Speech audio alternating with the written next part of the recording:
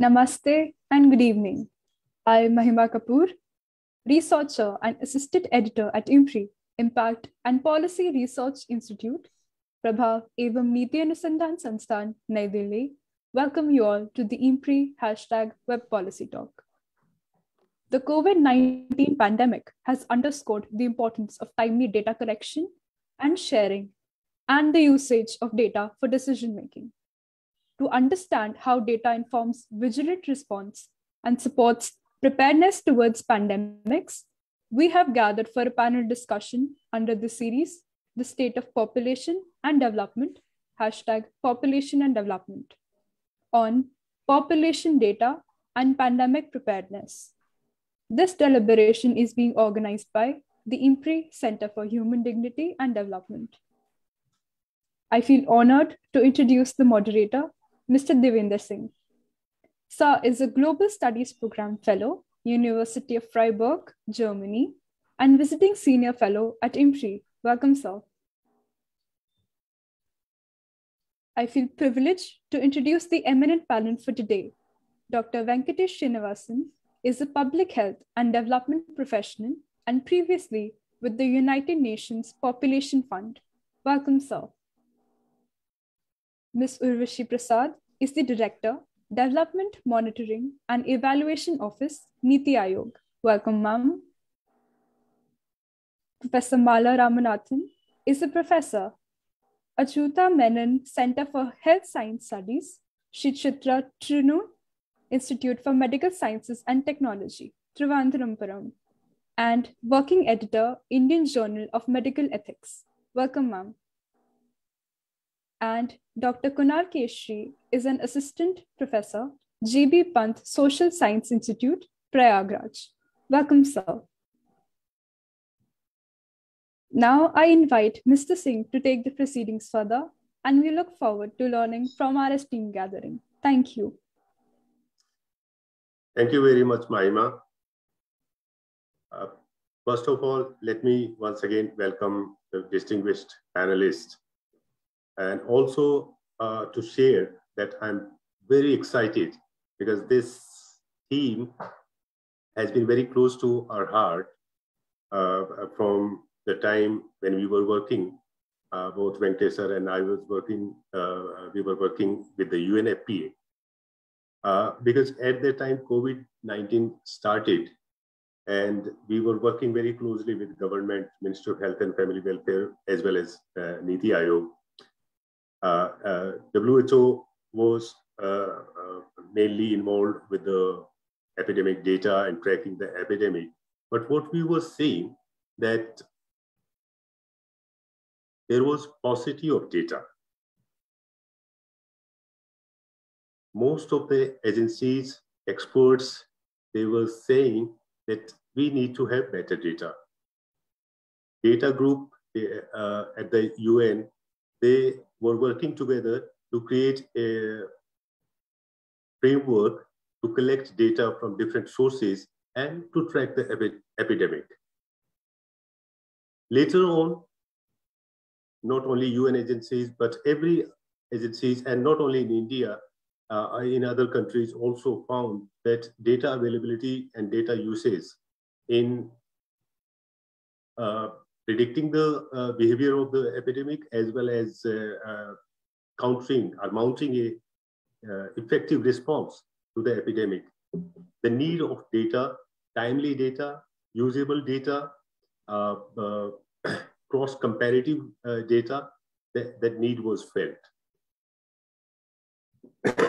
we at UNFPA, because we work with the, uh, we used to work with the population uh, data, then we also thought of that apart from the regular data, health management information system data, could there be other data also which could be used uh, to predict uh, the epidemic or its trajectory? And from there, the need for this kind of discussion started at that time. And I'm happy that uh, uh, IMPRI has taken the initiative to organize this uh, talk. uh, uh, which we are calling panel discussion, but as I wrote in my email, it will be more of uh, presentation and discussion. So we will be hearing from the expert panelists on different themes covering different areas within within within the, this theme of uh, how to use population data or how to uh, find population data uh, to prepare for the for the pandemic.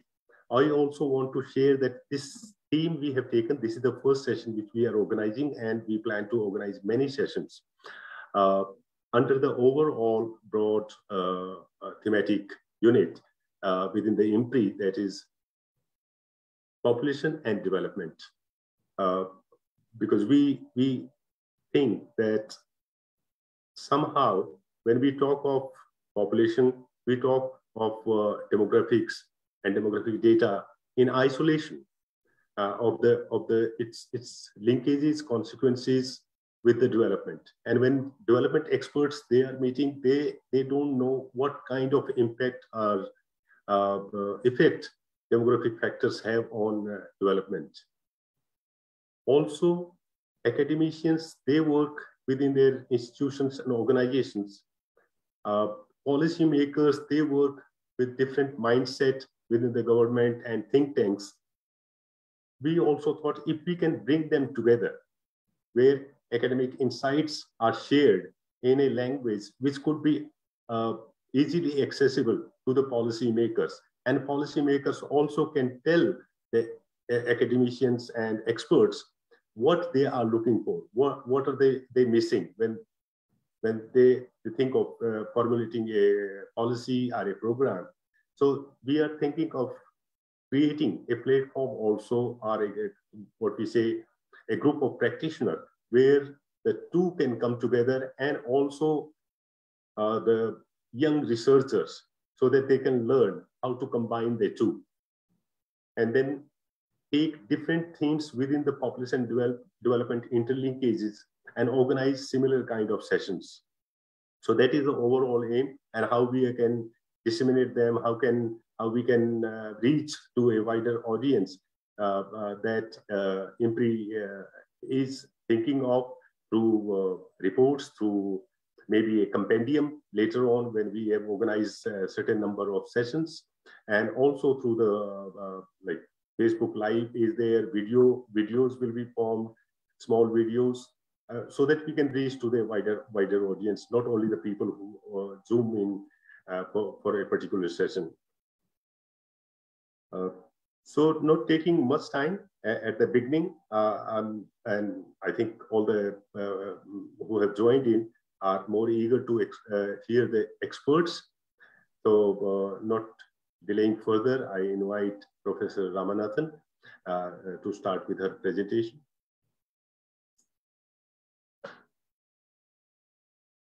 Thank you, uh, Mr. Singh. And uh, at the beginning, I should say that I'm really not an expert. I'm uh, more of a data user. And uh, many of the things I'm talking about comes from scouring all over to see how best in helping others as a demographer on how best they can use the existing sources to track anything, you know, including the pandemic. And so what I'm going to speak comes from struggling over the past two years to educate colleagues, you know, epidemiologists and other people working in public policy about the advantages and disadvantages of existing population data sources in the country. So, you know, it's not so much of expert as much as a data user that I speak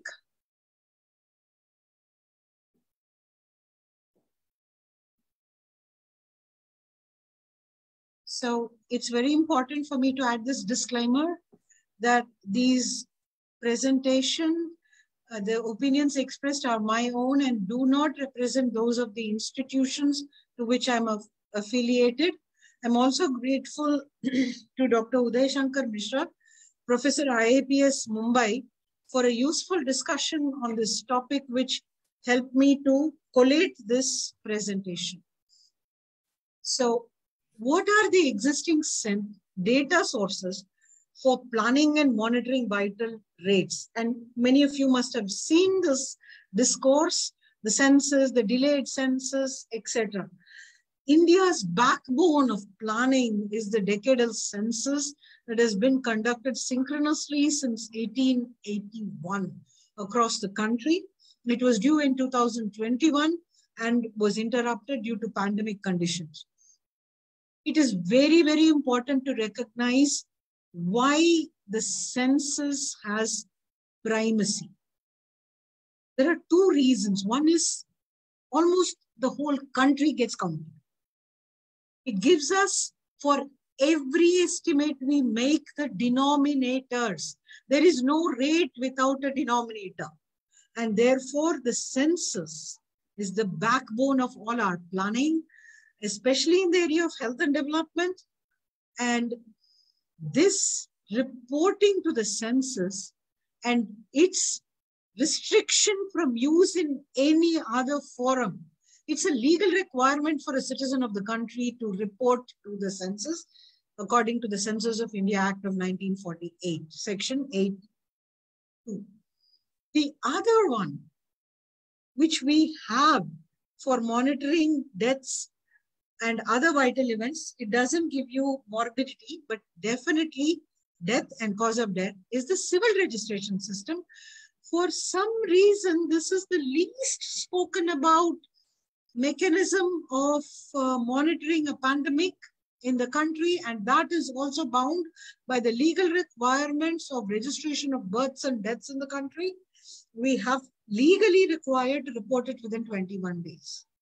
The next one, which is a sample registration system, actually provides reliable estimates for births and death rates for rural and urban areas across the country for states. The other important source is the National Statistical Office, in which is the old National Sample Survey Organization's various surveys on economy, consumption, infrastructure, health, education, migration, and a whole gamut of topics. There are other resources that have gained currency and incredible credibility like the National Family Health Survey, of which five waves are available. The earlier demographic and health surveys, demographic health surveys, which were three waves were available earlier, which is now um, co-terminus with NFHS. The IHDS for development, one wave is over, the second wave is, uh, two waves actually, I'm sorry. And the longitudinal aging survey of India, that is another wave one, and the global adult, adult tobacco survey, of which two waves are over. There is a plethora of data sources, many of them in the public domain that are actually available.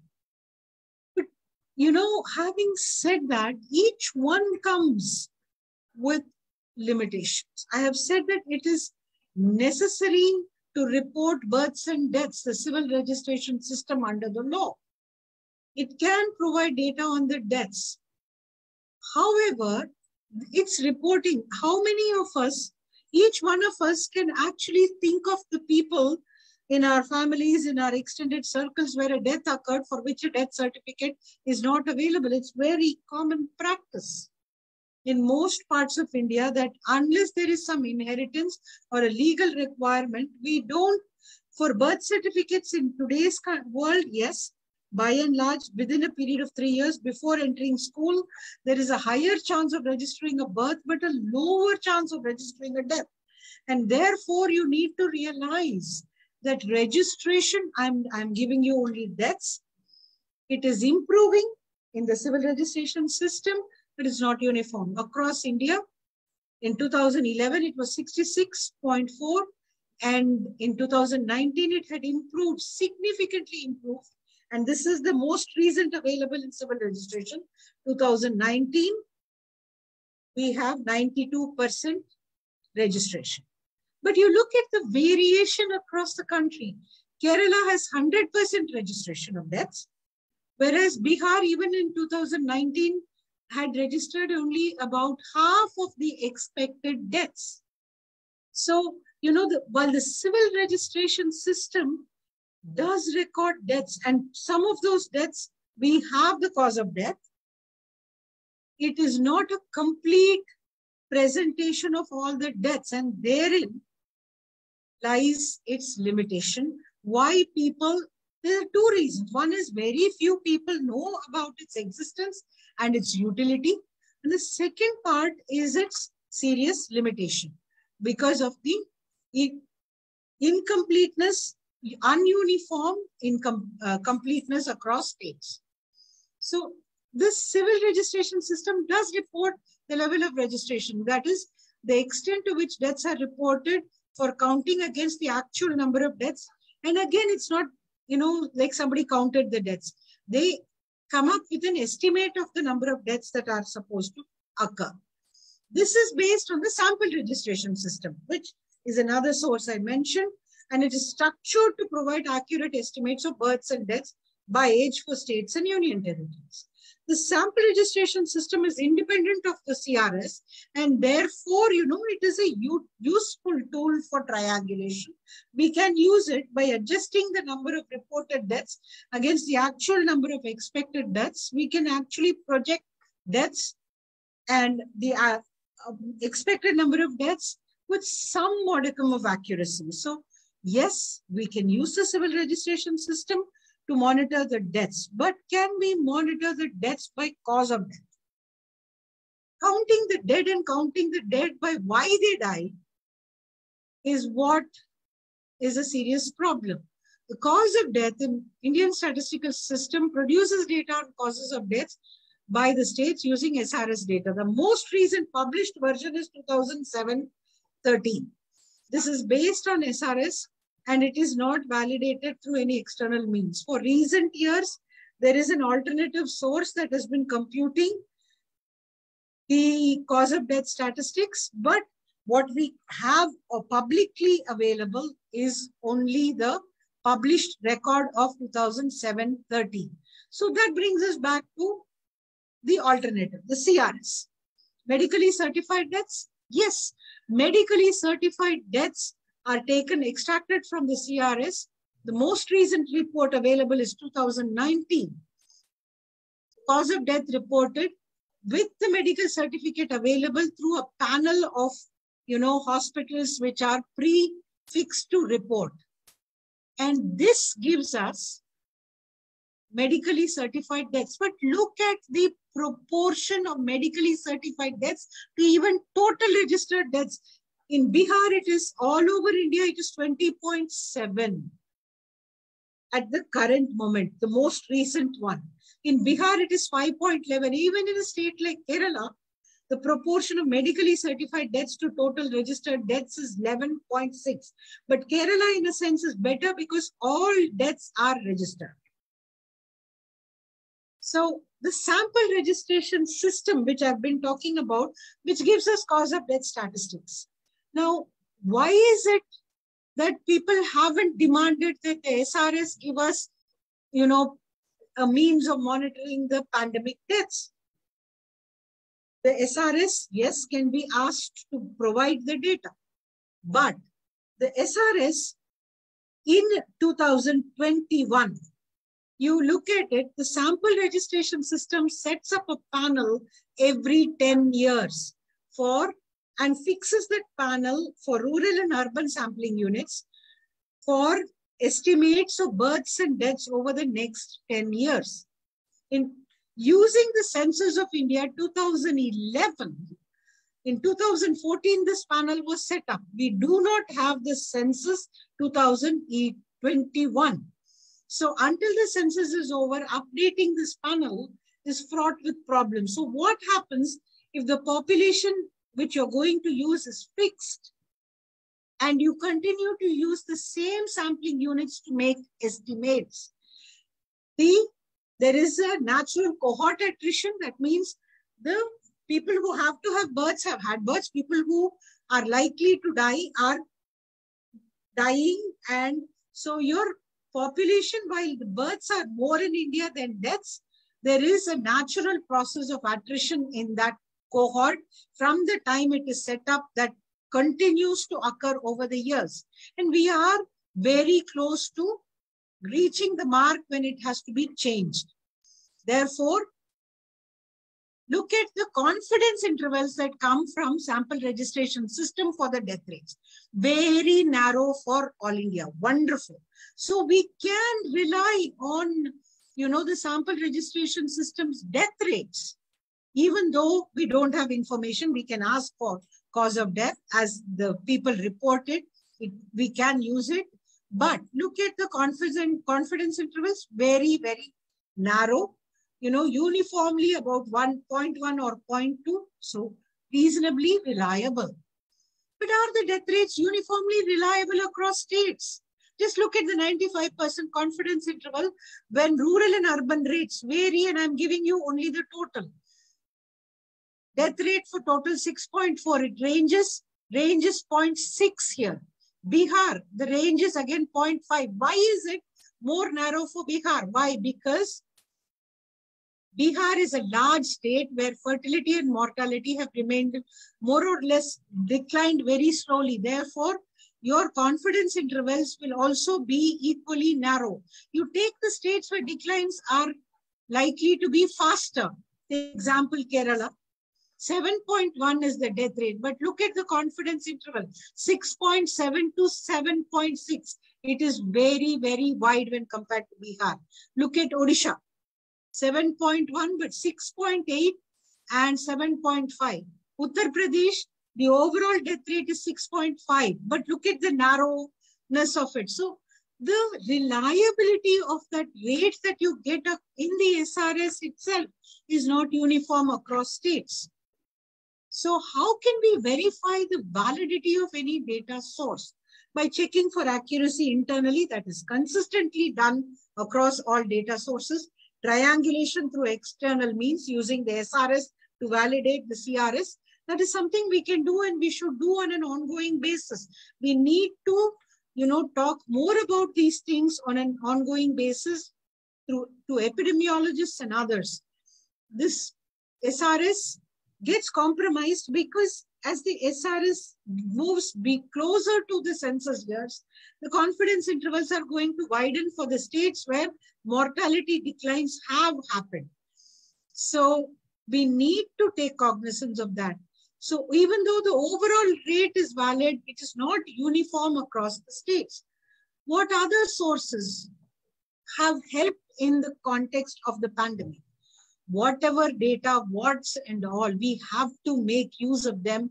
People have tried, some have succeeded, some have failed, all of it in parts. The Indian statistical systems have in the past come up with wonderful mechanisms to provide indirect estimates for many necessary vital events, even when data and that talent exists within the country, a country which produced people like Mahalanobis set up the Indian Statistical Institute, is a country with phenomenal but hidden talent.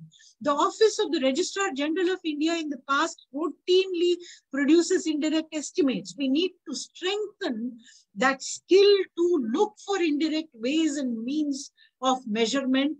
We need to build on that. We can use the CRS, come up with better estimates. So what do we need to do?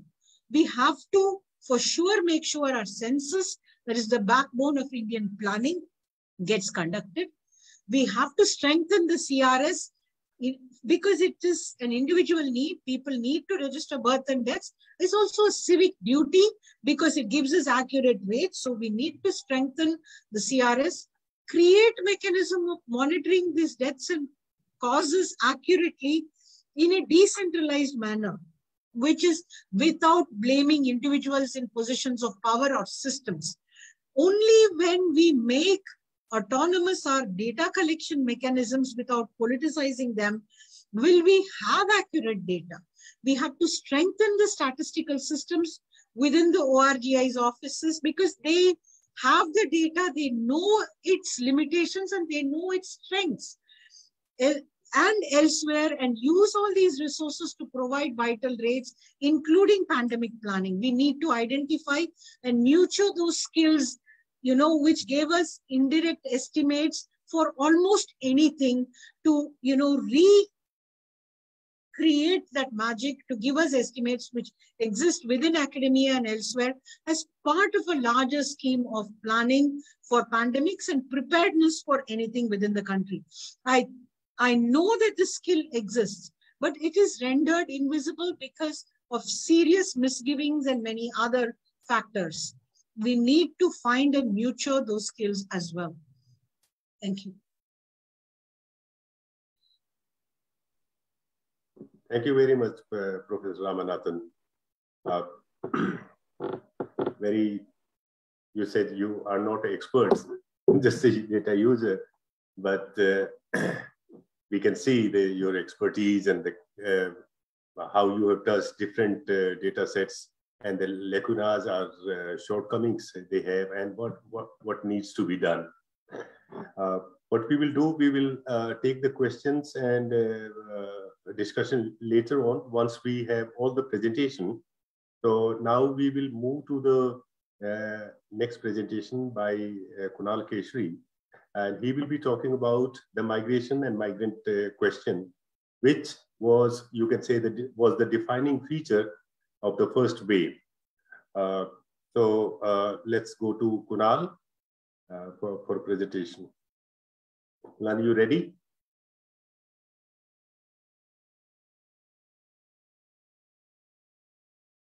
Am I audible? Yes. Uh, thanks. Uh, first, let me share my screen.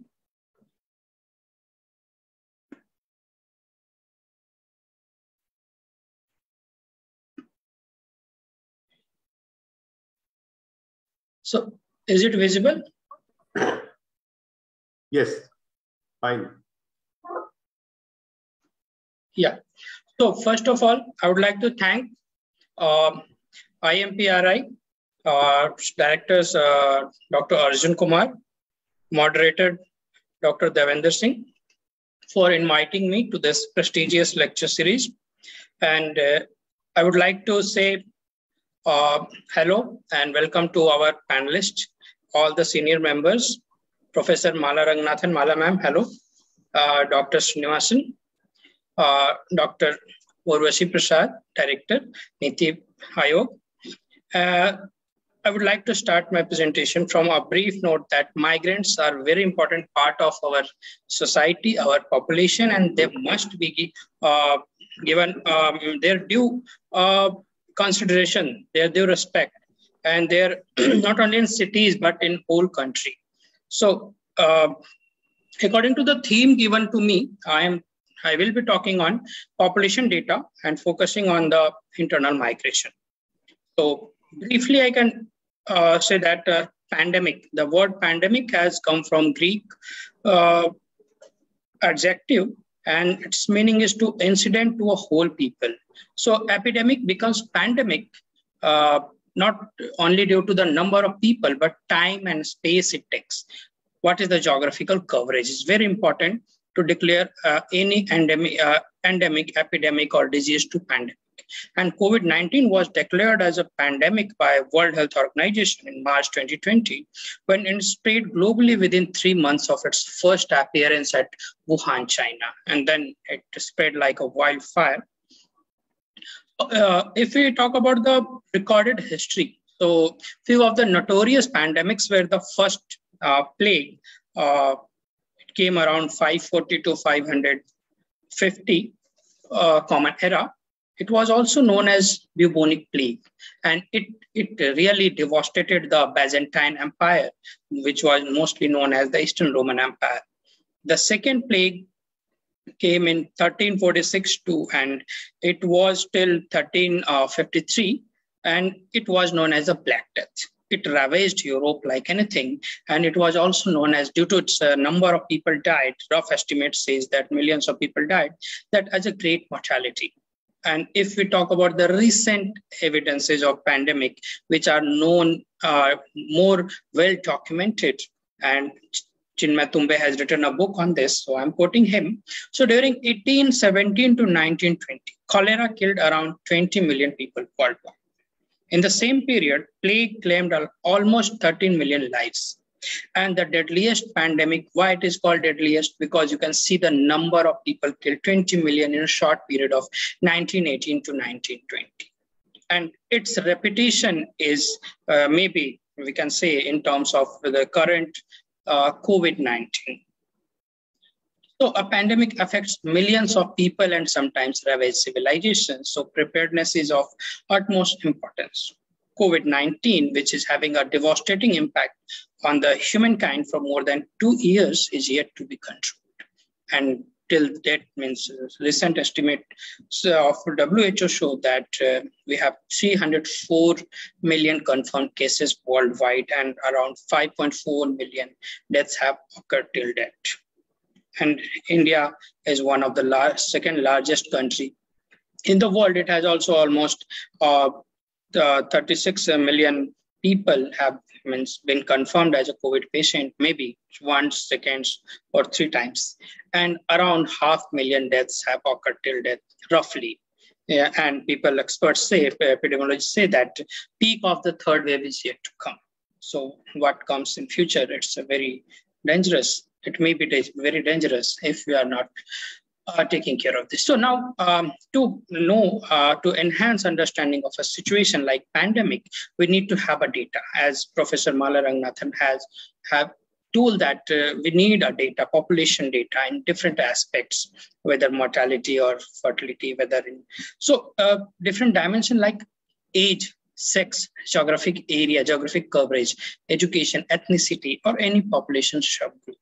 So COVID-19 has affected older adults, so they, they have been given more priority in vaccination and all the hospitalization. So similarly, a group of population, migrants, which have been directly or indirectly affected by COVID-19 globally, whether due to the uh, loss of jobs in Gulf areas or uh, uh, lockdown of the Western countries like European countries. So different kinds of not only by the only uh, contagions or by infections these have been affected. But side effects of these are very important to learn and understand. So along with the overall number of migrants we always are kitne migrant how many migrants are there?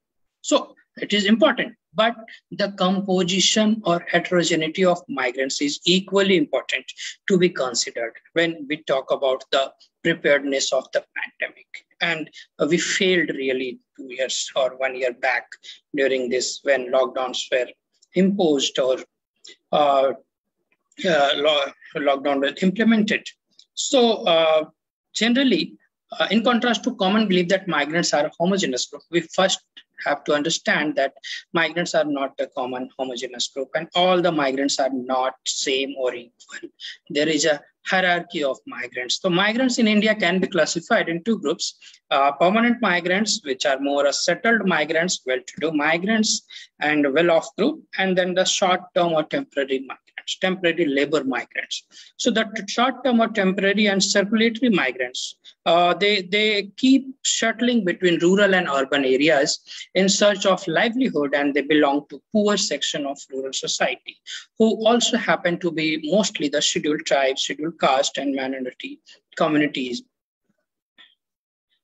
The outbreak of pandemic COVID-19 and post-lockdown migration crisis in India has really highlighted the poor understanding of government agencies, which still recently has no clue of the real number of migrants and migrant labor staying in different uh, mega cities of the country, cities of the country, or even uh, different uh, capital cities of the countries country so during the time of COVID-19 and lockdown period, the temporary and circulatory migrants were badly affected due to their precarious jobs and informal sectors. So now I will talk about migration data in India briefly and give some idea about the, how many migrants were really affected from earlier data and whatever data we have. So data on migration in India is collected through the following sources of Government of India. First is the Census of India about uh, Professor Mala Ramanathan had uh, discussed briefly. And then we have National Sample Survey Organization. Now it is under uh, CS, I think, uh, Statistical Organization and uh, CSO. So census usually have direct questions on migration to place of birth, place of last residence, duration of residence in the place of enumeration, place of residence on a specific date before the census. Indian census also collect information on permanent immigrant, means de facto census. However, it lacks information on the temporary or short-term migration. There is no information on out migrants. So latest available data uh, from census is of 2011, uh, which data was released very late. I think I, I remember it was released in 2018 and 19, and we started uh, making some analysis on that. This data should have been released earlier, then we could have better idea of migrant population. So then National Sample Survey Office that comes under Ministry of Statistics and Program Implementation. It is the other major source of migration statistics, which is collecting migration data from last uh, uh, I think uh, 40 50 years and collects information on internal as well as international migration, out migrants and remittances, household migration, return migrants, and temporary labor migration. Though the NSSO used to collect migration data every seven, eight years, but unfortunately, the latest available migration data is of reference years 2007, 8, 64th round of NSSO. So after that, no detailed data on migration has been collected. We have other sources of government sources of migration. We can say National Family Health Survey also have few questions of uh, place of last residence and place of uh, years lived in the current place of residence and whether you have changed your place. But it cannot be used as a major source because mostly is a truncated data and uh, it has an age limitation. It, we don't have a complete data of uh, complete all the population. Also, the last year, Labor Bureau of India has begun some survey on migrant labor, but no data has been released till date. Hopefully, it may be in pipeline other two important, one important source is India Human Development Survey. Uh, it is nationally representative survey which is conducted by University of Maryland, USA, and National Council of Applied Economic Research India. It collected migration data in the last two rounds uh, in 2004-5 and 2011-12. So uh, it has a rich source of migration, but definition of migration, particularly permanent migration, is somehow not according to UN definition and some uh, critical uh, information is missing, but it gives good information on out migrants, remittances, household migration, return migrants, and seasonal labor migration. So the latest data is still available for 2012. So we can say this is the latest data which we have because census data, mm, recent census has not been conducted and it will come after five, six years. So we have to depend on this 2012 wala data and uh, 2007-8 NSSO data and 2011 national sample uh, census data. Uh, we have also uh, some good research institutes like Center for Development Studies Trivandrum, uh, sorry, Thiruvananthapuram, and International Institute for Population Sciences Mumbai, that is also an institute of uh, Ministry of Health. They keep on conducting some regional levels migrations data through some migration surveys in the states like Kerala, Goa, Gujarat, Uttar Pradesh, and Bihar. So we have some series of data for this. Now, I'm giving a brief glimpse of number of migrants. So according to census, which gives mostly the permanent migration data. So we had, mm, if in terms of numbers, we had 225 million migrants. 1991, 2001, it was 307 million migrants internal migrants. And 2011, it was 447.1. If you add Kashmir, it will be 449.9.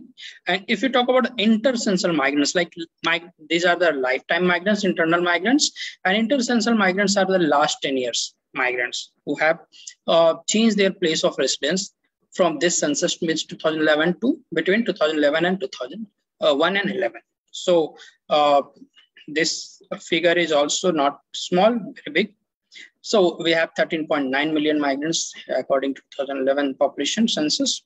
And percentage of migrants is increasing really.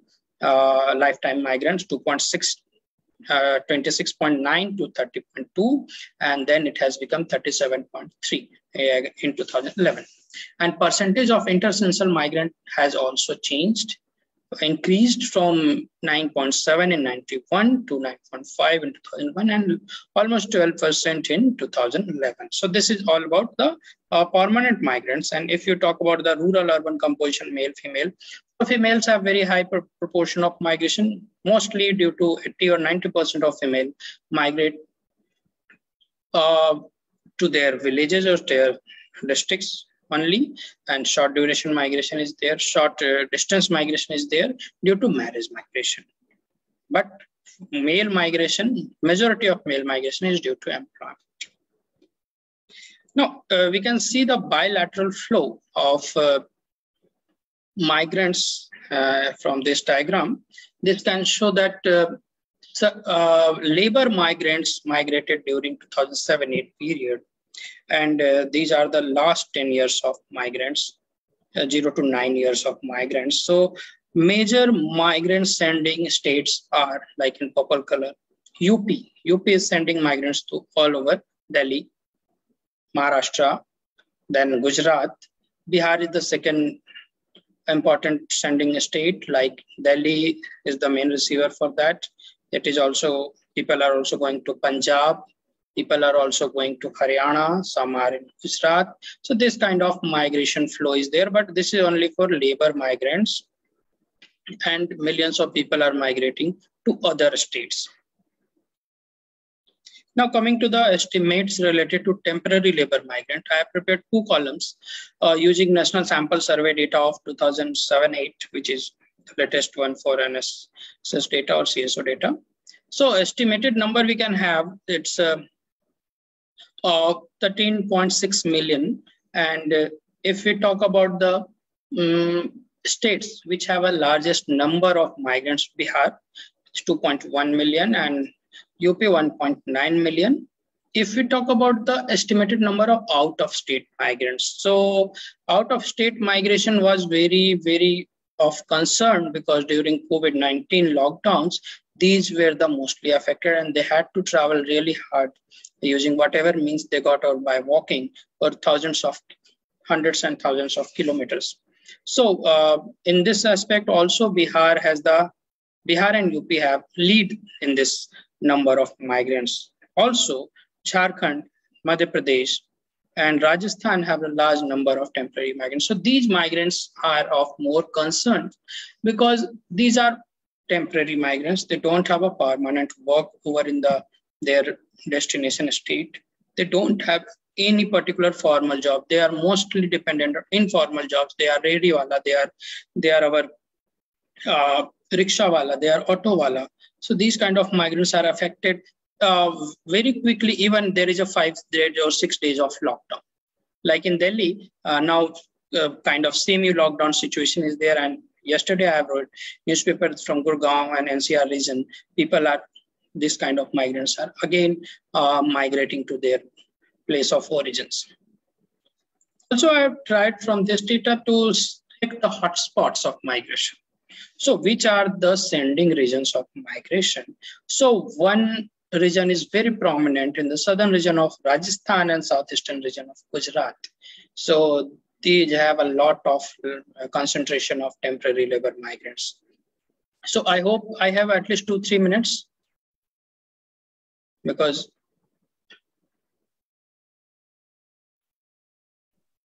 yes yes. Okay fine. So uh, this region is very important because when return migration took place i will show again other figure figure from government. So it is corresponding to my estimated data of migrants. So southern region of Rajasthan and southern region of Gujarat uh, is prominent for sending migrants to these regions like Delhi or uh, even internally to Ahmedabad and Mumbai. Then southern region of Uttar Pradesh, Vindhyan, and southern regions of Madhya Pradesh. This central region is very big hotspot of migrant. Then uh, northern and southern regions of Bihar and south, uh, northern region of Jharkhand, that is also known as the Hazaribagh Plateau. It, it is a, I think, largest hotspot in terms of number of migrants, which my even recently I have conducted during this gap of two waves of COVID in Jharkhand. So I found that these these areas are filled up with uh, temporary labor migrants, and I have seen the buses daily. Uh, one bus used to go from a very small village of Jharkhand that is called Jori to the Ahmedabad to Surat, to Delhi, and people have agents, there means bus contractors, and they used to fill these buses with laborers with their consent and sometimes uh, with their choice uh, by giving some uh, advance money to these places. Even uh, just after I, I, began my field survey, uh, just before the second wave, and unfortunately, my team and me was also contracting COVID during Holi. Then I had to stop my survey. So these regions are most important centers of temporary migrants. Odisha and Nagaland are also some uh, bigger centers, hotspots of migrants. So uh, when we talk about the data released by Ministry of Skill Development and other government sources, uh, well, mostly I've used the newspaper articles. So uh, by end of July, when lockdown was partially uh, removed, uh, means relaxed, so Bihar 32 districts have shown the return migrants number as 23.6 lakh, Uttar Pradesh 17.48 lakhs, Rajasthan 12.9 lakh, Madhya Pradesh 10.72 lakhs, Odisha 2.9 lakh, and uh, it is a one source, Jharkhand 1.1 lakh. And these are typically the temporary migrants because during lockdown or at the time of crunch situation, tough situation, these are forced to leave. They had to leave anyhow. So other source shows that total uh, number of migrants returned in Bihar, 30 lakh, and uh, total skill mapping have been done by government. And total migrants labor returned to Jharkhand was 5.5 lakhs, and Uttar Pradesh highest number of migrant returned 32 lakh. So these figures are very means uh, not complete because whatever estimate I have shown earlier number. So these are older estimates. So the figure may be of twice of that. All migrants are not vulnerable. I am also a migrant, permanent migrant. So I'm not that vulnerable. I have a uh, regular job. But migrants who have informal jobs, who are staying in some city for last two, three years, but they keep on shuttling between rural and urban areas, their destination and origin. So these are the most vulnerable migrants which are affected by the lockdowns. So now coming to one very uh, important survey which we have conducted after second wave. As I told that I had to stop my survey uh, in the last year, March and April, during the session beginning of second wave. So again, I uh, got a chance to collaborate with some international agencies and university to do a survey in UP. I was the PI for UP and in Bihar, some team members have done, and Delhi, some team members have done survey. So more than 600 migrant households were uh, interviewed, and 150 non-migrant households were interviewed, and more than 50 qualitative interviews with migrant workers have been conducted. So our brief findings, it is not complete finding because we are still in uh, primary analysis phase. So loss of employment was experienced by majority of them. And we found a significant increase in uh, modern, moderate and severe food insecurity of these groups because our focus was to understand the uh, employment, food insecurity and uh, related aspects of migrants, which really uh, affected their life post uh, second wave and dietary diversity also worsened post national lockdown in all the states. So, uh, just I want to say that uh, there is a paucity of migration data. Latest data we have of 2012 IHDS data that is also not very, uh, we can say, complete data of migration. Census data gives a very good result, good estimate, but it lacks information on temporary migrants. NSS data, now CSO, it used to give a good estimate of uh, temporary labor migrants and its coverage was also good but uh, uh, now it is not conducting any survey till uh, as per my knowledge. So just uh, we need to have some good data. We need ha- we need uh, a good data to do good analysis to give some good idea about the problems of the migrants or any situation, whether it's a pandemic situation, any disaster situation, or any job loss. So uh, now I am stopping my presentation, ending my presentation, and thanks to everyone for patient listening. I'm open for questions and discussion. Thank you so much. Thank you, Kunal. Thank you. Uh, now I'll request uh, Venkatesh sir to make presentation. Now, just now we listened to the vulnerable group, migrant, and other uh, equally affected group was the uh, elderly people. So uh, in the next presentation, uh, Venkatesh sir will, will Yeah. focus on the elderly group, uh, aging.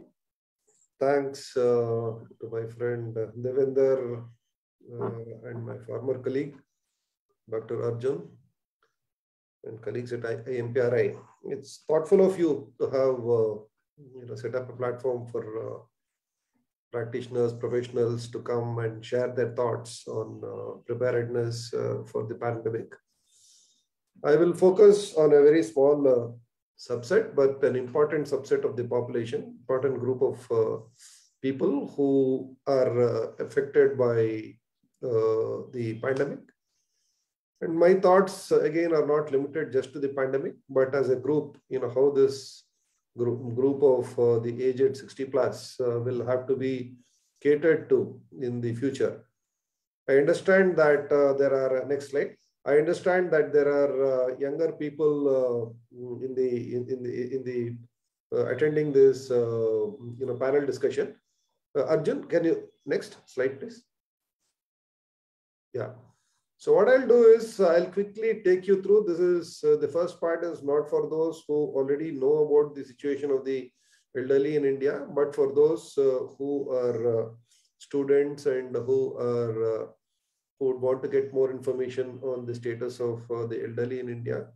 And then I'll move on to the issues of, you know, what data we have, what we do not have, and what is the strength of the data that we have for uh, policy formulation and programmatic responses. And if there aren't, you know, relevant data uh, that are available, but are not on a timely basis, what is it that we should be probably be doing? So you would have heard uh, Professor uh, Mala and uh, our young friend uh, who have talked about the issues with migration, so on, migration and uh, the other data sets uh, that are available that uh, Dr. Professor Mala, you know, shared. So let me then start with what is the issue of the aged or the elderly population in this country? Is this a matter of concern? Next slide, please. So as you would see in the coming slide or in this slide, see the problem with India is that we are, okay, one of the parameters for knowing as to what is the scenario on the aged is to look at the doubling time. In how many years a country will have doubled the population of the 60 plus? Uh, for this, you will see from the slide that it has taken about 110 years for uh, France uh, to double and about 80 years for uh, Sweden to have doubled. So, the, so it uh, means between 1860 and 1980, 110 years almost, 1870 to 1980. So that's the time that you know it has probably taken for France to double its population. But when it comes to India and China, uh, China in 25 years and India in 20 years. So that's the biggest uh, you know challenge that we have. So by about 2030, 2035, we are going to have double the population that we had in 20, uh, Uh, 2011. Uh, 20 yeah 2011. Uh, so that's the seriousness that we need to accord to the aged uh, and uh, therefore think of what policies and programs are critical. And while one thing that you know this type of macro data will tell you that yes, it's a big problem. So what do we do with it? This type of data. We need to have more specific data so that we're able to plan our policies. Next slide, please. So there again, uh, as you would see, that India is not one, uh, you know, it's an integrate it's a it's a set of uh, states which are at different uh, levels of demographic transition so you would see uh, with india in the middle 2011 population 88.6 percent 60 plus by 2041 this will become 15.9 national averages but when you see states like kerala or tamil nadu for that matter even uh, you will see that it's around 22, 23%. So anything about 20% population is called as an aging country or aging state for that, matter, you know, uh, for India, let's say. So, but then again, you have a Bihar, which will hardly have, you know, 11% population, which probably is the national average by the 2021 census. So even in another 20 years, they'll still be, you know, far behind. But uh, then each state has some uh, level of uh, 60 plus population at any point of time, which will naturally be there. So what is the planning uh, that has to take place for the services for these people and what is the databases that are available? Uh, before moving to the database, what are the vulnerabilities for which we need to plan? Next, please. The vulnerabilities are quite high the vulnerabilities uh, related to economic, uh, you know, conditions, uh, to health conditions, to you know the so social issues of you know gender and so on. I'll talk about a few. This is not a presentation on the elderly, so I wouldn't want to get into details. But just to give a flavor to the you know young participants in the you know who are hearing uh, to this uh, hearing uh, to this panel and to my presentation. So only 30% of the elderly are dependent by or self-dependent economically or 70% are dependent on others, uh, either fully dependent or you know, partially dependent. This is a very alarming situation you know, in this country and needs a big social sector response. And uh, the current response, though in you know we can say that there is a response to every uh, you know issue uh, of the agent, the response measure is quite small. So we need to uh, look at uh, the issues not for the present, but for the next 20, 30 years, the scenario is not going to majorly change. One other thing, for a country like, uh, you know, the mm, European countries or the developed countries, the scenario was different. When they started aging, they also became economically better off. Whereas in India, it's not going to be that scenario. Maybe China to some extent, because their you know, uh, per capita income is quite high. Uh, but for India, uh, it is quite low and it's not going to be, you know, majorly you know, uh, uh, uh, uh major, there will be improvements. There is no two thoughts about it, but not going to be majorly, uh, you know, changing uh, to cover the the entire population. So there will definitely be people below the poverty line for, you know, some for, for some decades. The workforce, which again is a major, you know, con contributor to the economical, you know, um, to the socio-economic background of any poor, 90% of the workforce is in the informal sector. So the so savings is very poor and the social protection, you know, that one could have from their, you know, uh, savings is going to be meager in the old age. Then uh, the even in the formal sectors, uh, which is less than a 10%, I suppose, uh, uh, is uh, the lack of preparation among the aged for the future. Uh, for post-retirement. That preparedness is quite low. That's why you will see nowadays that there are a lot of advertisements being, you know, put up uh, by the government and uh, less by the government, but other uh, you know, insurance companies asking the young people to start uh, looking at uh, the annuities and you know pension, you know, 30 years from now when they when they start retiring and so on. So th that type of a thing is very important because the preparation for the retirement is you know quite poor and this gets aggravated, especially when you know people are going to become more uh, nuclear, you know, in their families without much uh, support uh, from others, from the next generation. The interesting thing, some, uh, I think uh, the earlier two presenters talked about uh, the, workforce. I did a small analysis a few, I think last, yeah, last year, starting last year, around the same time on Manrega. So the, the why I'm saying showing this is that uh, the population of uh, uh, 60 plus is, as I said, about 8.69%, 10%. But whereas when you get to the people who have registered for Manrega was about 14%, so one and a half times. So what it means is that there is you know, huge amount of economic need among the elderly and they want to work. And this also comes out with, through you know, studies that uh, my former organization UNFP had also conducted and this is uh, the uh, data from the government is also consistent. So uh, then uh, similarly, the registration of uh, Manrega for even 80 plus, uh, which is very unfortunate that such old people in this country are working. So just to set, set out a scenario on the economic conditions of the elderly, and then therefore I'll argue as to what is the need for the data for you know the interventions. Next slide, please. So when we look at the issues of uh, you know health uh, and uh, you know gender concerns, we all know that uh, increasing life expectancy brings in uh, you know a lot of morbidities and the disease burden among the 60 plus is uh, definitely going to be high. but 30% of all the 60 plus to 60 to 80 79 year population have acute morbidities and 80 plus population have almost 40% of them have you know these morbidities the worst part of this is that uh, women are more afflicted. Uh, morbidities are more, but hospitalization rates because of uh, the poor status of women in our societies, they are not hospitalized, whereas the men, you know, are better treated and they are taken to hospitals and so on. Uh, then 10%, uh, some studies talk of a bit higher averages of uh, higher percentages of people needing support for active uh, activities of daily living. So this uh, is a, is a uh, you know area where we need you know data so that you know any support whether in terms of equipments or you know other support that's needed at the community level you know how much of that has to be you know provided for and what provisions does a policymaker have to you know provide for so these are the type of estimates that will the data that will help in estimating so therefore, you know, activities of daily living is an issue for the elderly. Then uh, abuse. Fact, uh, the um, fact is that the elder abuse is high, uh, with women suffering more. So what it means is the men also are suffering. Uh, you know, being beaten up, you know, or ill-treated. Beaten up is the last, uh, you know, resort.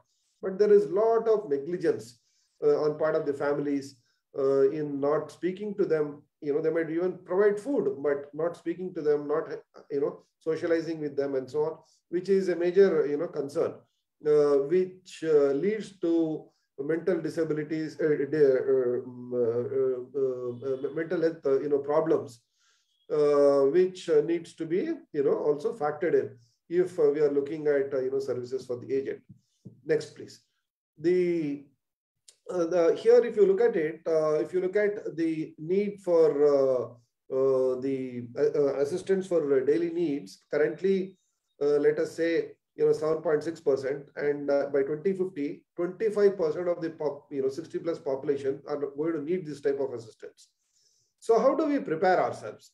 So, you know, for, uh, for attending to these, uh, you know, needs uh, that are only going to be, you know, increasing uh, because we are going to be an aged population and these demands will only rise and it's not going to go, you know, go down. So it's not like fertility. Fertility can go down, but the people on this uh, uh, in this land uh, are going to stay here, and you're going to find more morbidities uh, that needs to be attended. Next. so therefore, what is the what is the data that is available, uh, you know, for planning for, for for services?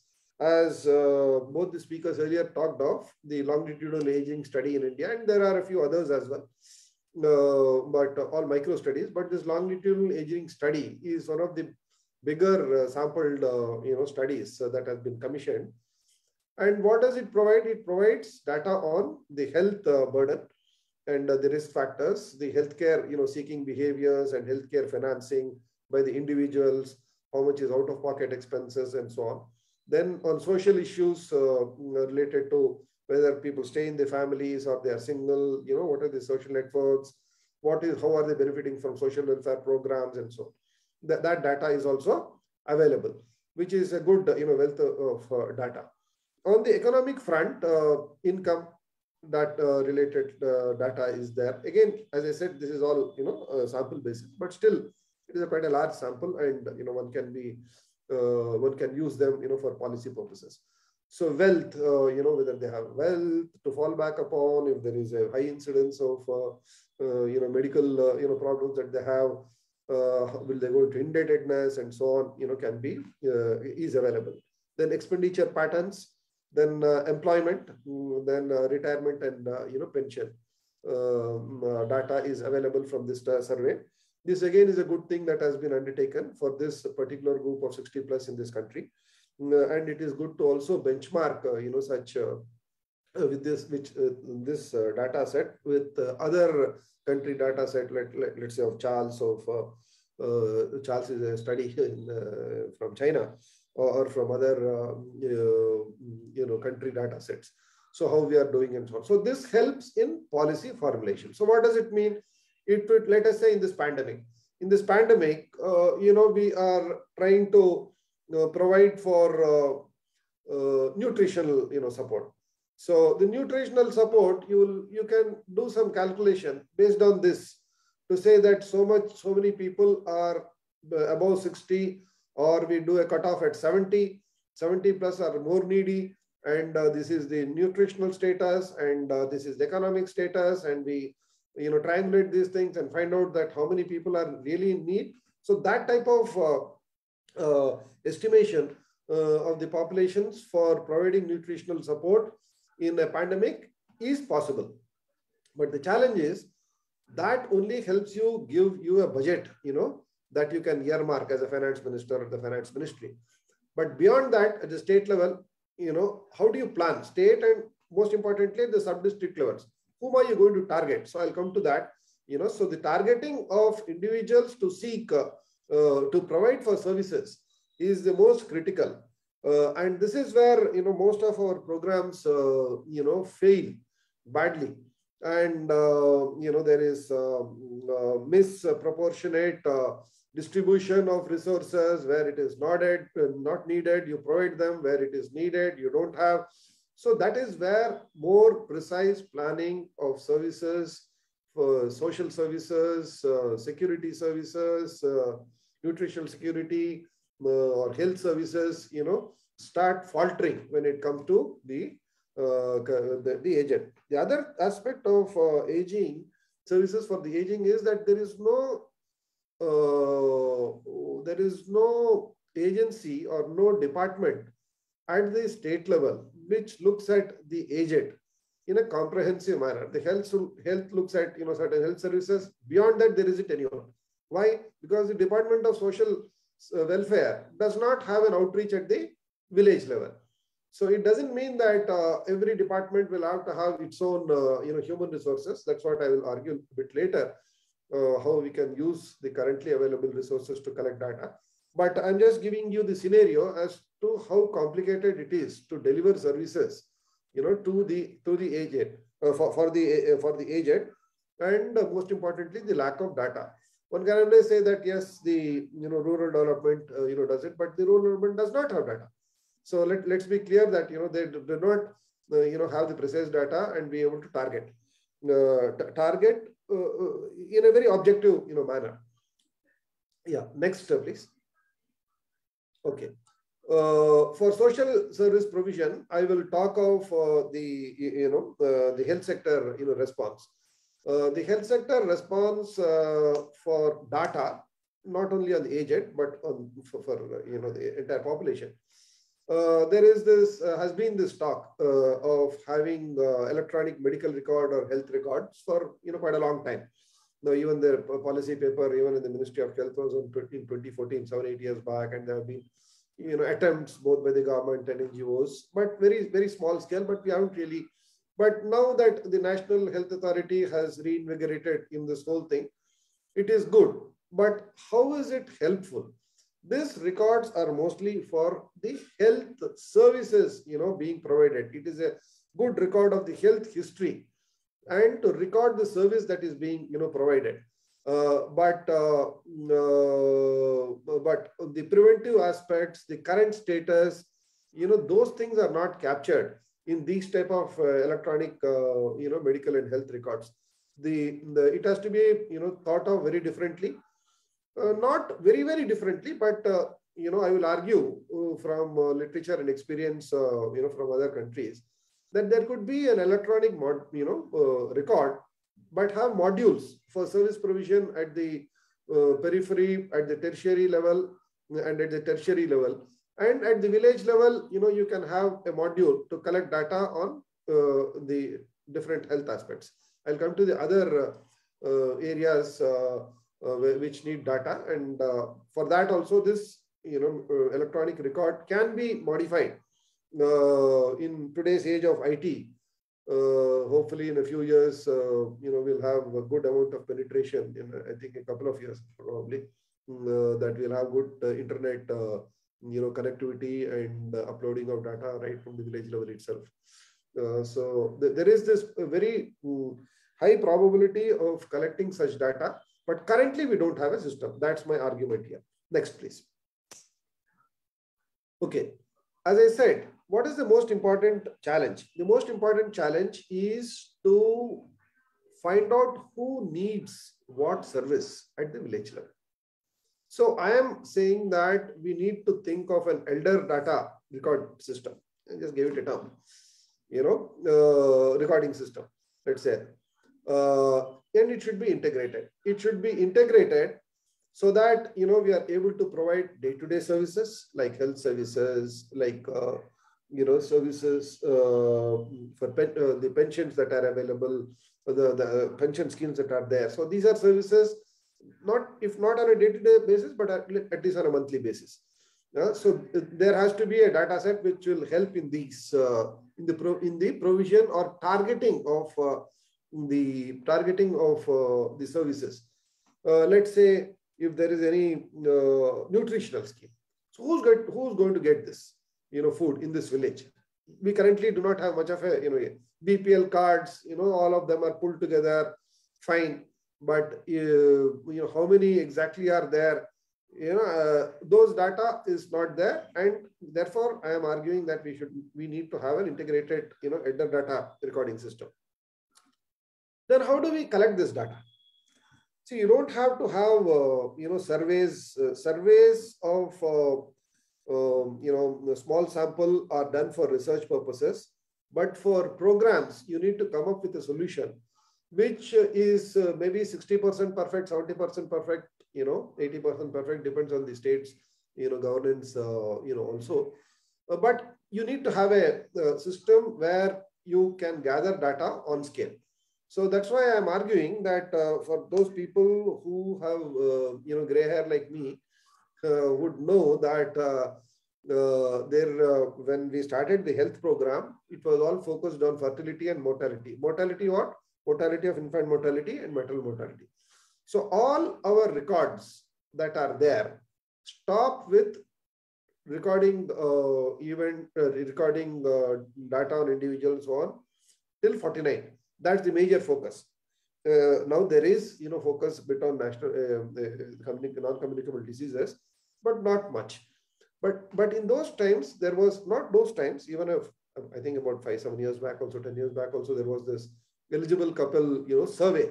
So now that the country has almost achieved, you know, fertility uh, um, objectives, we need to now reposition ourselves. This country will have to think seriously of repositioning, uh, you know, itself. I was reading uh, when Devender asked me to be on this panel. I thought that you know it's important to see what's hap what happened in other countries. Even as uh, late as 2017, 18, there was a policy paper, uh, very good, interesting paper from UK, talking of uh, the effectiveness of uh, national health services and other uh, social uh, services that they are providing and how they need to see this in the next 30 year time span. So, but whereas in India, we are not looking at this type of things. So we need to look at how elders are going to be, you know, serviced uh, and therefore, reposition as what I was what I'm coming to is that repositioning activities like the eligible couple survey to a family survey, uh, which uh, can be updated, uh, which can be done every year at the start of the year. Let's say April, May, you can devote uh, for every health worker to do it. And I can assure you that the data collection will not be a problem because we all know the type of enumerators that are uh, enlisted for the you know big surveys, what background they come from except the training uh, the ANMs uh, need, they have better skills, uh, the health workers, to collect this type of data. And it can be undertaken. And it can focus on, uh, you know, physical, mental health, very, very brief. It, it, it didn't have to, you know, get into the details because this is not a, a cause of death, uh, you know, survey or anything just to be done by medical you know, professionals. This is, you know, trying to get a sense of, uh, you know, the physical health, the mental health, their housing, the socialization in terms of whether they are staying alone or with others. Uh, uh, and uh, most important thing is that this survey being a survey which looks at a bit broader than the health, interoperability of this database is critical. This country cannot, you know, have each department go and commission studies. This is not the way we should think of uh, community, you know, uh, level, uh, you know, data, especially the uh, the mm, uh, the MIS data, you know, from this the system generated, you know, data. It has to. It has all flaws. We all agree. We know that, but th that's a data set which should be available and it should be available for different uh, departments to access it for their own planning. So as I was saying, planning for, uh, you know, targeting of uh, nutrition supplements or, uh, you know, for medical definitely, for, uh, you know, housing that might be given uh, preference for elderly or even skill development, which you would know from the, the, the, the, you know, physical condition of the elderly and so on. So for everything, there, uh, every department, whatever data they need, for that, they should be able to access this data set. And it should be used, available, and it should be interoperable. Um, you know, everyone can use this database, whichever department, and this is the way to probably go about it, uh, which then the topic of today is pandemics. If such a database was there, we wouldn't have been so let down currently we do not have any estimate of the elderly where they are you know where they are where they are probably we know but what is the status? The elderly deaths uh, if it is recorded uh, now professor mala was talking of the uh, census srs and, and so on. So the data that you get is after five six years. Even Keshri uh, was talking of. So these are all data which comes quite late so whatever rough and dirty data that you can get, you know, from a system that I am talking of, if only this was in place few years back, we could have been in a better position. Uh, I think this is the last uh, year. Uh, next slide, please. Yeah. So this is what I wanted to share, you know, with uh, especially with the young friends, uh, you know, who are part of this presentation uh, would love to have you know questions. So I am a practitioner, so my thoughts are always in terms of how policies and programs could benefit from data or lack of data and how we need to position ourselves to get better data so that our policies and programs are more targeted and more focused. Thank you. Thanks uh, to the uh, to IMPRI, IMPRI for uh, having me here. Thank you.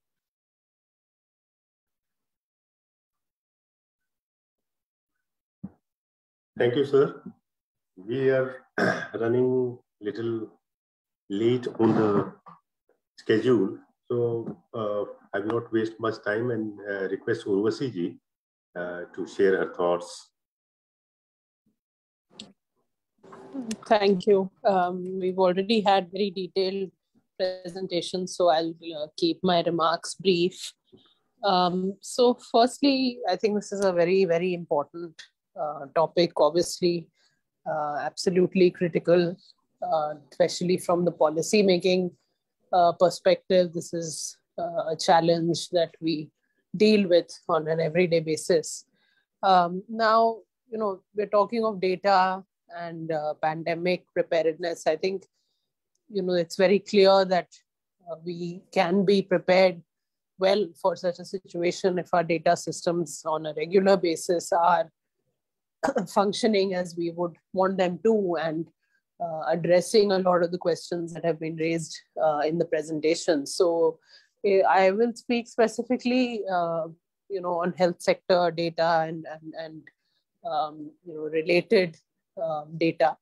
Now, there's a lot of challenges that we face with this data on an ongoing basis, uh, whether or not we are in a pandemic situation. Um, one is obviously the fragmentation, and that was also spoken about that even within the health sector data, there's a lot of fragmentation. There's different uh, systems where different data is being collected, and a lot of these necessarily don't talk to each other. Um, and it's also often difficult to trace a single beneficiary or a single individual through these different uh, data systems.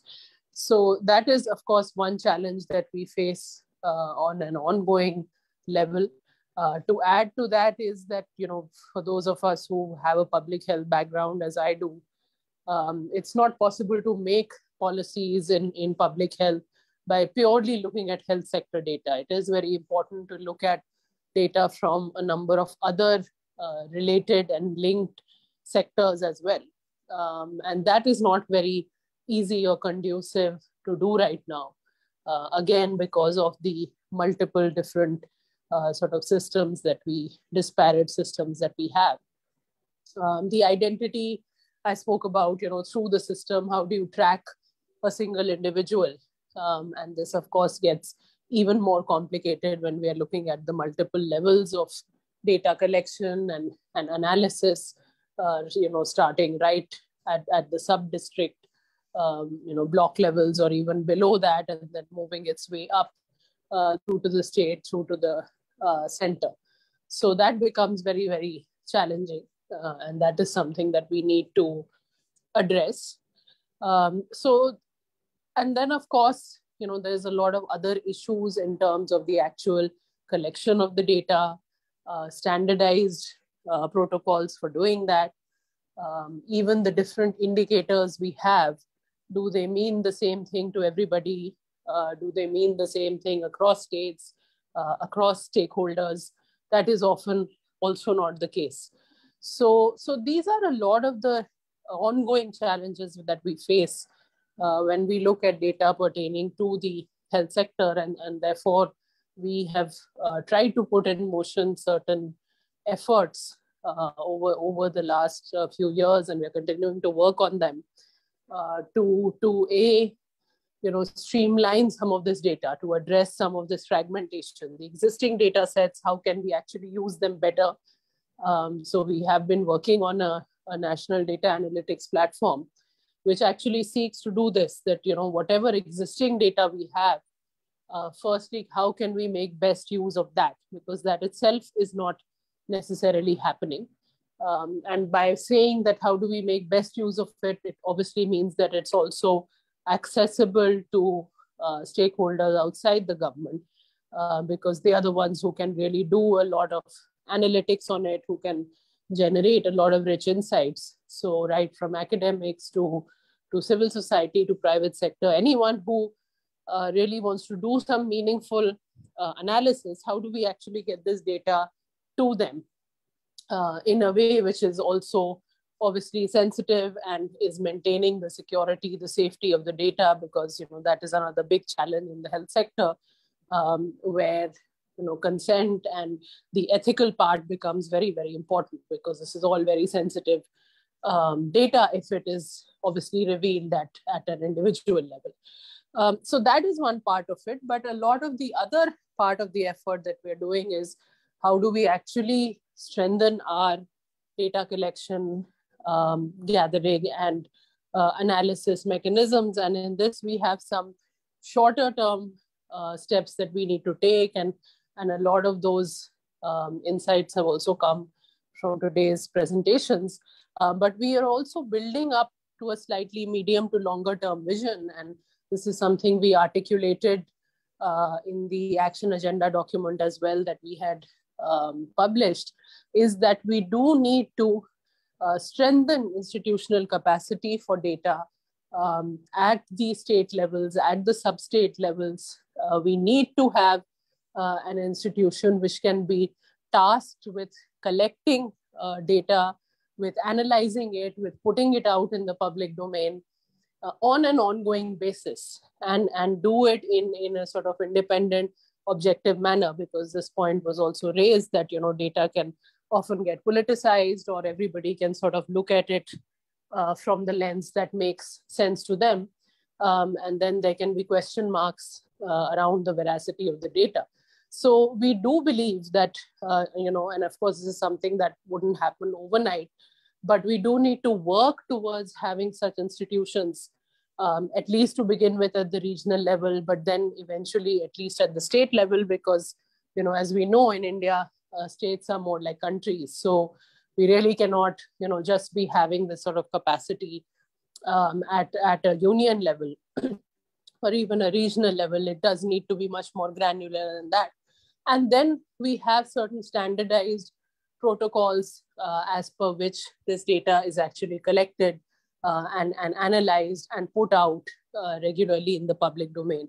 So that is actually the broader uh, vision that we are actually working towards because this is one capacity that we feel uh, needs to be strengthened significantly. We do have a lot of surveys that we do, and, and, and that is fine. We can, of course, continue to find ways and means to improve the periodicity of those surveys, their coverage, um, strengthen them in, in many different ways. Uh, but really, how do we move beyond these surveys as well uh, and look at institutional capacity um, when we are talking of uh, data collection analysis as well as uh, really putting it out on a regular basis. So that is something that um, we are very focused on. Um, and one uh, sort of final point I'll make quickly in the context of pandemics, um, because you know that is the immediate context and um, uh, topic for this discussion, uh, is that we also need to uh, kind of write, uh, you know, at the beginning, uh, if if and and when we ever have to face such situations. But I think it applies to other situations as well. Uh, it might not be only a pandemic, but any sort of crisis situation like this, where there are a lot of different stakeholders who immediately become interested in a particular set of data which is being put out. Uh, you know, with this pandemic uh, has made everybody interested. Every citizen, everyone on social media, every single person out there is interested in this health uh, data. Everybody has their views and, and comments and perspectives uh, on the statistics. So, so, and social media, as I said, WhatsApp, all of this, of course, means that uh, these views, these opinions, they also travel very, very quickly. And while some of that is advantageous, uh, there are also challenges and risks of um, some of this data or metrics uh, being misinterpreted or not being looked at in the right way. So that is also something that um, I think is is is a learning. Uh, you know, if I look back uh, last year, because I have been involved in this entire uh, COVID response, and part of the work I've been doing is analyzing the data every day, and I've of course tried to uh, you know put it out on my social media handles and whatever channels I had, apart from the uh, official channels as well. was because there was a lot of confusion naturally so a lot of apprehension um, and very, very small uh, sort of things can go out of control very quickly. So I, I remember when we started uh, last year, uh, we would have these infographics which would go out on social media. I would often see them, uh, you know, which would basically say, okay, such and such state has the highest number of cases. And uh, I used to again and again sort of correct that and say that, well, you know, if that actually means they're testing, uh, then that's probably a good thing and this is how we need to look at these numbers so i think that also is a very important piece and i think an important learning um, that the stakeholders both within the government as well as experts outside um, whenever there is a situation like that to actually come together and at the outset set the tone um, for what are the key metrics how should they be looked at how should they be interpreted. Um, you know some of it happened in due course but I think for the future, uh, this could be a learning where this is done much more upfront um, because that would reduce the sort of extent of misinformation uh, or misinterpretation that might also uh, go around. So I think that's a that's a slightly different point, but I think it's a uh, it's a very very important one um, all the same. So yeah, I'll I'll, I'll stop here. Um, thank you very much for uh, inviting me here. Thank you.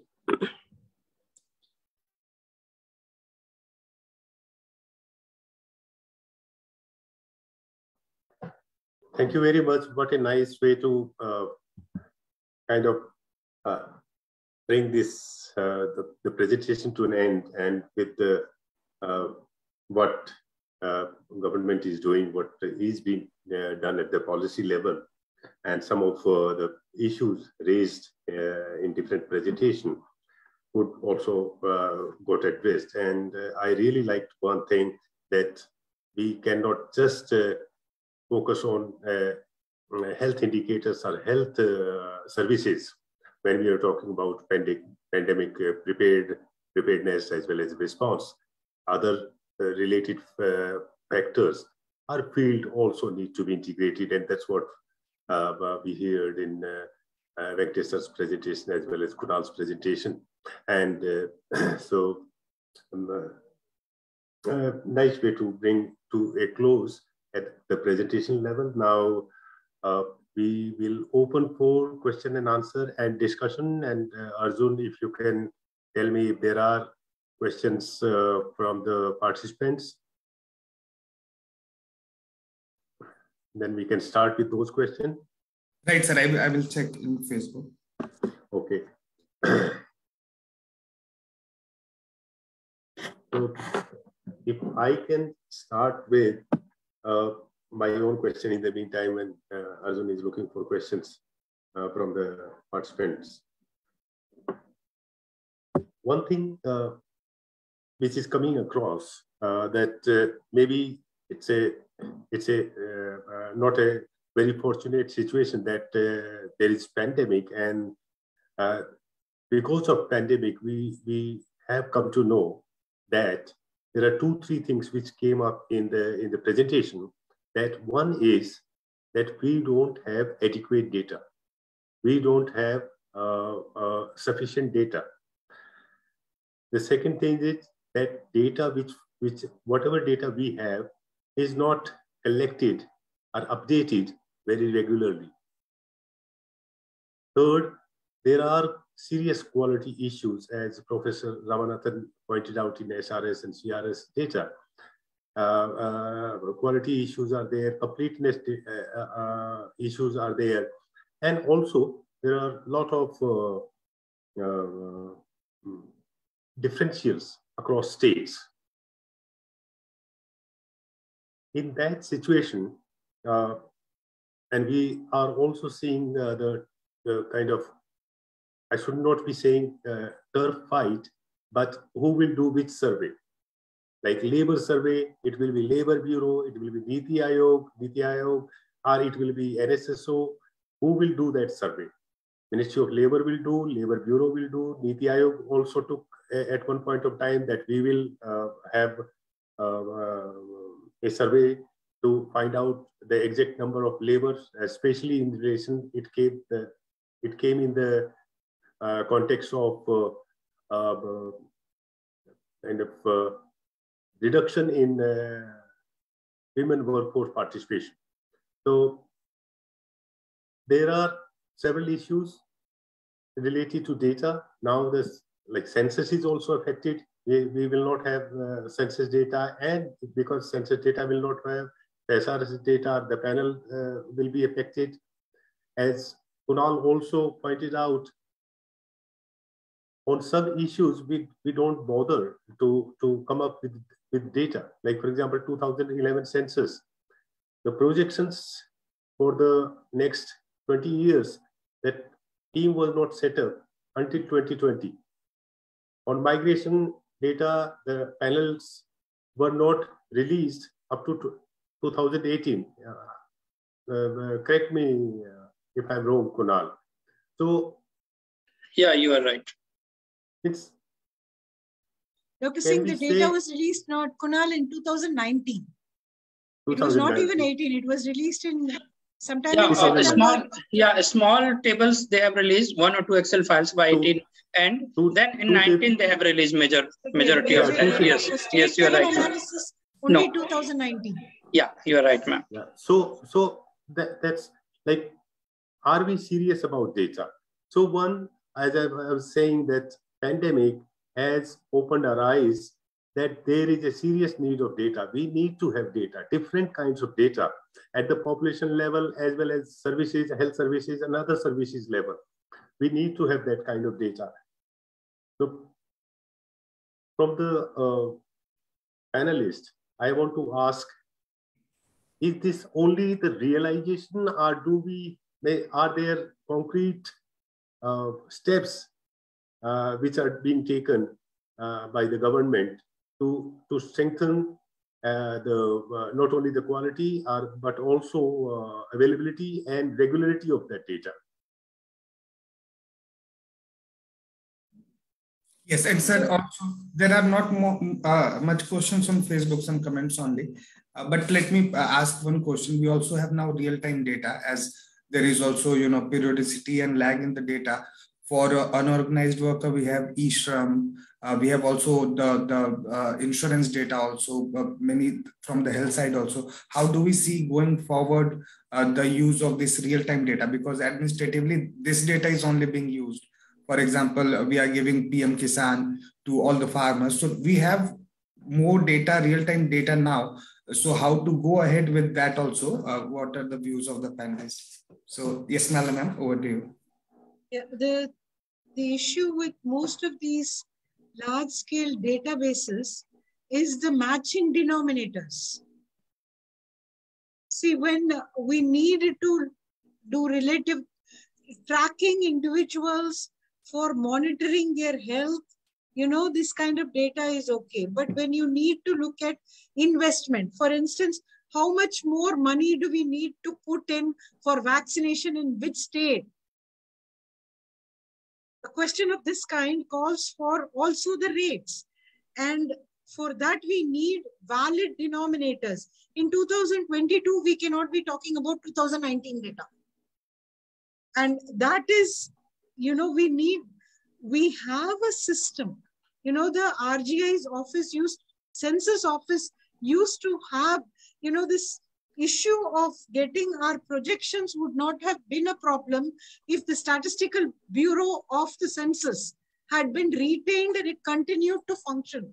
It was a regular exercise that we did making projections and validating it in the intercensal period. I'll give you a small problem that we are going to face in all our future computations with population. Small issue.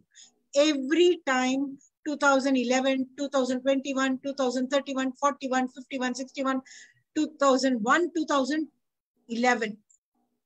Every 10 years, we had an estimate. We divided the rates by 10 and got intercensal. Now, for any accurate estimates in future, when we do the census of two, in 2022, we will need to retrospectively have the same figures for 2021 because a lot of our computation is incumbent upon that. Therefore, you know, strengthening the statistical capacities and proactively, you know, planning for this is an extremely important thing to do in the now if we have to learn. And that is a lesson, you know, we can't let systems go off thinking that, you know, on an ongoing, every time we think that our CRS is improving, we don't need SRS. Our SRS is improving, we don't need CRS. So we didn't bother about anything. It's time that, you know, we bothered about everything. Not in silos, you know, SRS, SRS. CRS, CRS. No, because each one, census feeds into SRS, SRS feeds into CRS. Everything is interrelated. If we don't realize that now, you know, when are we going? And it's not that these efforts are not ongoing. We need to, you know, do it more urgently. It is something which, you know, moves at a very phenomenal pace with 1.25 billion people. Things move slowly. We need to come out of that inertia now because that is the lesson the pandemic taught us. ये नहीं है कि कर नहीं सकते मगर कब करेंगे that becomes an issue now we have to do it with some degree of urgency it is not that we are lacking in capacity it is not that we are lacking in the will we need to bring everything together that's my take home message thank you maladi yeah uh, quick uh, response. I think uh, uh, Madam Urvashi, you know, talked about Ma Madam Urvashi talked about the responses from the government. There, uh, to me, you know, having worked on the other side of the government for more than three and a half the three and a half decades, I can see the level of appreciation today in the government for on lack of data. You can also see, you know, certain political statement that we don't have data, we need to do that. But having said that, there has to be immediate response in terms of revising our you know our uh, you know statistical uh, you know system not the you know data gathering system but the whole structural you know uh, let's say the Ministry of, uh, you know, MOSPI. You know, how is it currently structured? Whether it has teams to look at integrated in an integrated manner, different data sets for different groups. That type of a, I think, thinking is, uh, you know, important. I also understand from my colleagues in the statistical services, uh, many of them have retired, uh, that uh, the statistical commission had a lot of very, very good, um, you know, suggestions but unfortunately, not much of them have, you know, been uh, made into a reality. Uh, yes, uh, Professor Mala's, uh, you know, lament or, uh, you know, great concern, I would say, on uh, the the non-functional, Uh, you know, parts of the census is, is something very critical. And uh, that is something that we cannot, you know, uh, we cannot be a developing country or a developed country in another five years or whatever uh, targets we want to set without data. That is something that has to be seriously taken, you know, through. And I hope, uh, you know, the current political dispensation also puts in efforts beyond, uh, you know, the thought processes that are there to see that, you know, these things improve. And in institutions like NITI, you know, should probably, uh, you know, uh, lay out a, a very strong, uh, you know, map on how we are going to position ourselves with, with almost like six monthly or you know annual targets as to what is it that we are going to achieve in terms of repositioning you know our organizations that are working on data over the years and also the role of the statistical institutions you know to me i'm not a, i said i'm a practitioner but i'm not a practitioner from that point of view but on the side of practice you know i've been engaged and i don't see you know the you know the link between you know the academic and uh, you know the policymakers that strongly that also needs to be you know looked at and promoted not that you know they might not want to be part of it but there has to be you know from this side also the practitioner side also to engage let me uh, stop here i think it's quite a you know long you know uh, debate that we have had thank you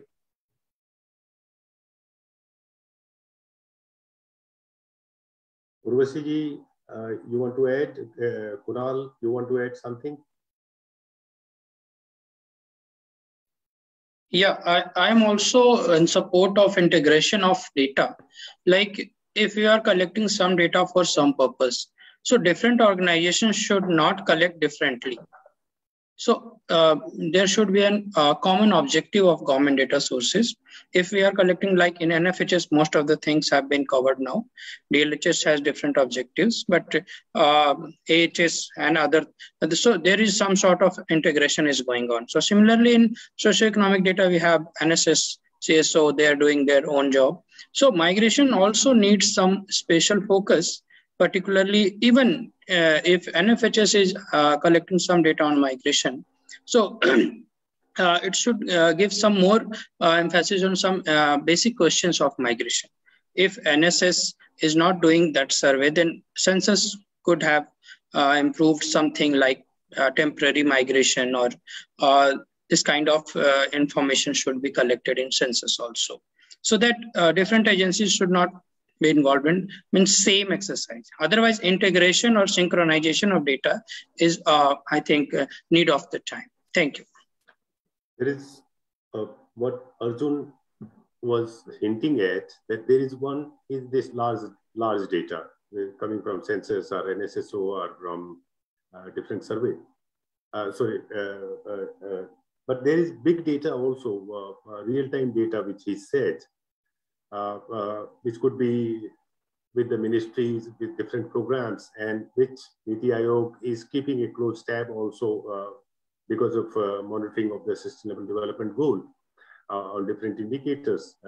so how we can use that real-time data or the programmatic data uh, uh, which ministries are collecting, which uh, Niti is also keeping a tab on that how that could be uh, uh, marshaled yeah. uh, in a situation like this when we may not have a very regular data like data is very old but there are other sources of data how we can use that uh, Madam Urvashi was opening her mic, uh, you know, okay. uh, Devender, uh, for her yeah. comments probably. Uh, I'll just say one thing.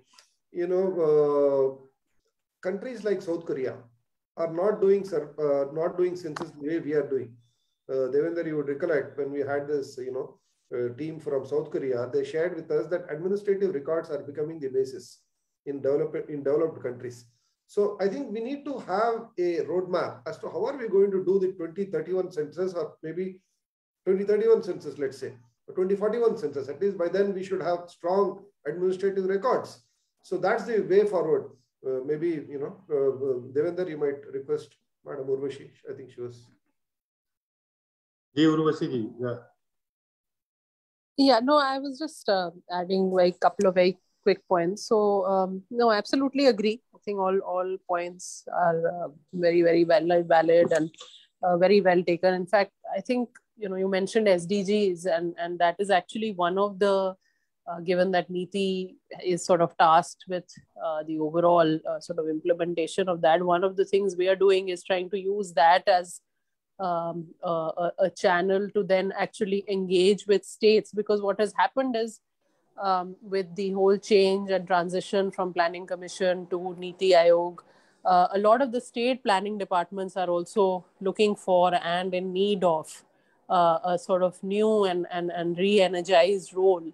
Um, and and one of the things that we're trying to bring in there is the data aspect because you know like i mentioned and others have also emphasized that um, this is not something we can think of as just you know piecemeal approach or a few surveys here and there.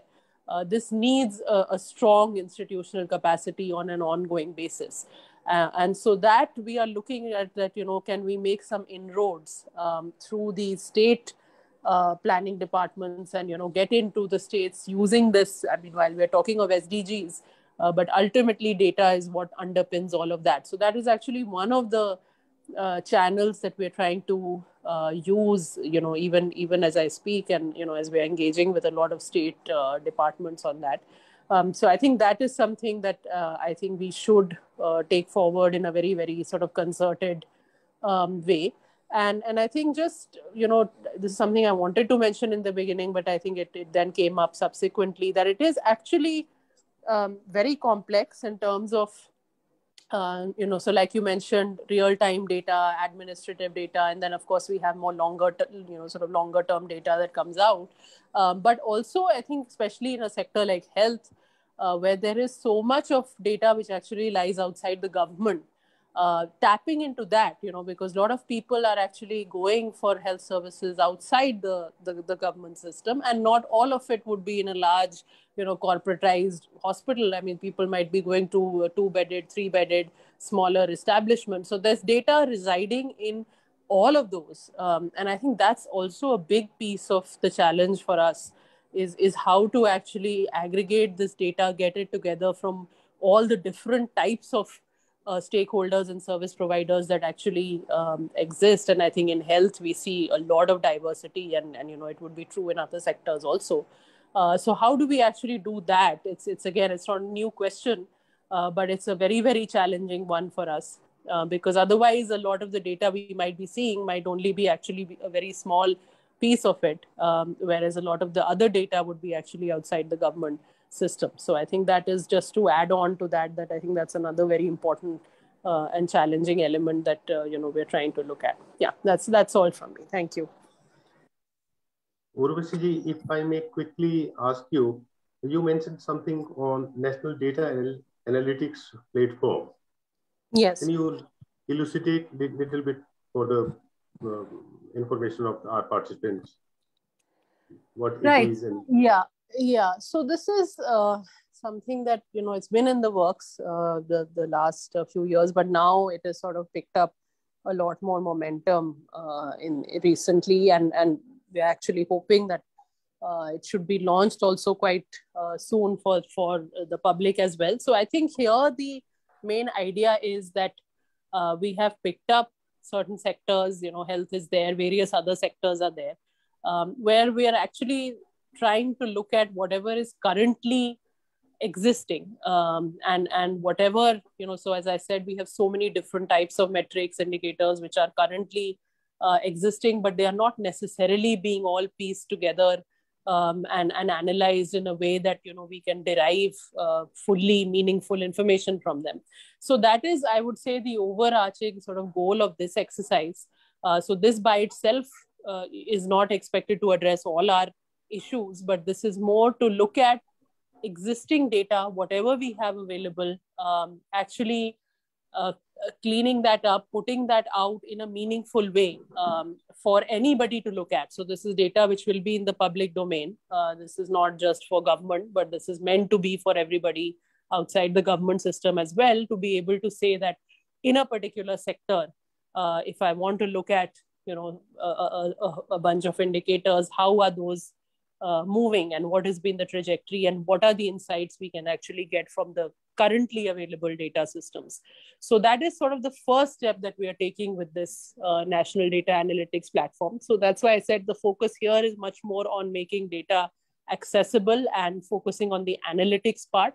Uh, but it is also going to then obviously logically move on to looking at the actual you know type of data being collected and the quality and and you know so on and so forth so that is really the sort of um, initiative in a, in a nutshell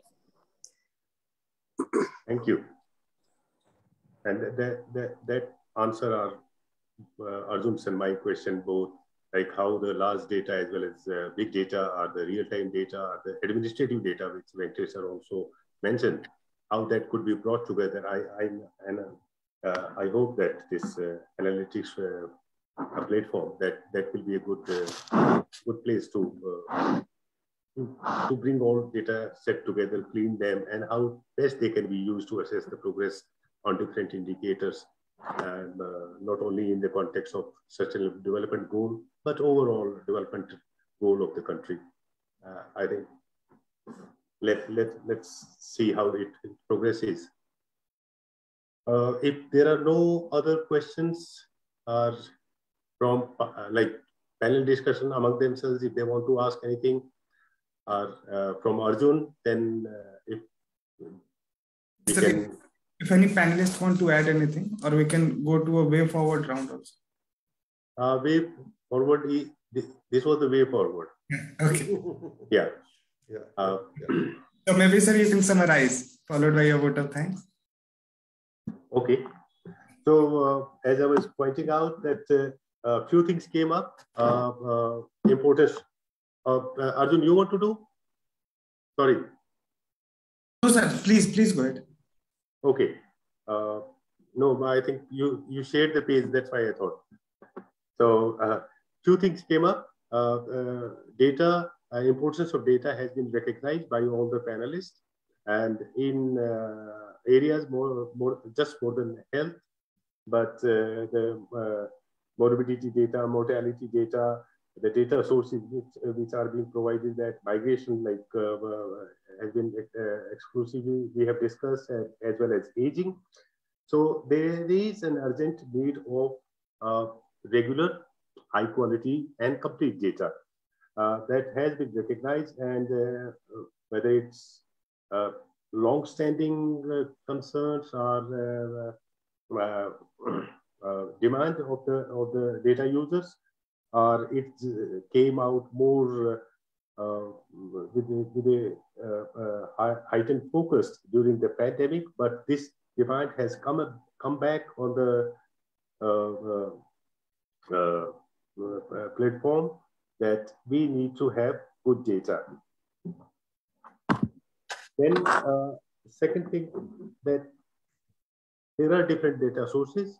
How we best can use the while we keep on uh, trying to strengthen the data sources and improve the quality uh, of, the, of the data, there are other data sources, uh, how we can harness or mine the data from uh, those sources like uh, administrative records or the uh, services and programs data, how, how that can be brought together. Like for example, migration, if the survey is not taking place. So what are the alternative uh, uh, sources of data apart from the small studies which are being conducted?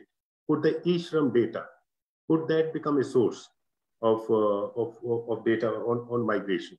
So we need to think of uh, uh, imaginative uh, alternative ways how, how we can have data till the time that we have regular surveys or we, we have better quality uh, data from the uh, nationally representative samples or from uh, census.